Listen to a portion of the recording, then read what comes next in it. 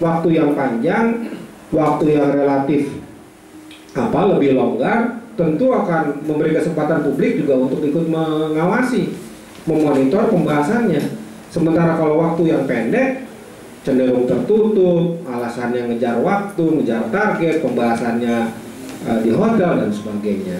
Sekali lagi uh, tentu tidak ada pilihan lain, ini harus segera dibahas, memberi kesempatan kepada penyelenggara pemilu dalam hal ini Bawaslu dan KPU juga untuk mempersiapkan pemilunya secara baik.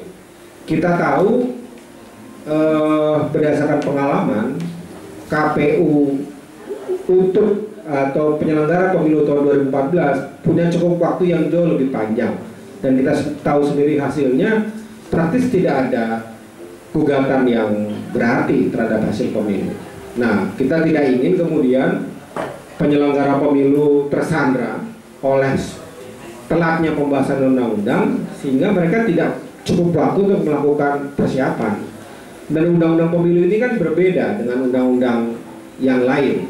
Dia tidak ada uh, peraturan pemerintahnya karena nanti peraturan teknisnya akan dibuat oleh para penyelenggara pemilu dan ini memperlama atau menunda penyelesaian undang-undang ini juga semakin membuat para penyelenggara pemilu juga kesulitan setidaknya dalam konteks menyusun peraturan pelaksanaannya.